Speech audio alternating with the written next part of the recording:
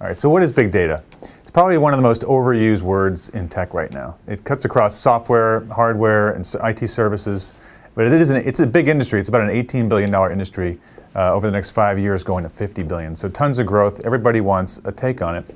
So what we decided to do was was map the big data industry uh, across um, all these different kinds of firms, I, from IBM on down to tiny firms like Splunk and uh, Palantir, which get a lot of hype.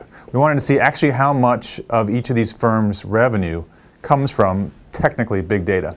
Uh, we worked with a partner, Wikibon, to map the industry in a concentric ring. One of the things we noticed was that some companies that are much smaller, like a, a SAS Institute, which is actually a pretty big company, about a $2 billion, $3 billion software company, uh, gets way more of its, of its revenue from big data than a much larger company like an Accenture or PwC.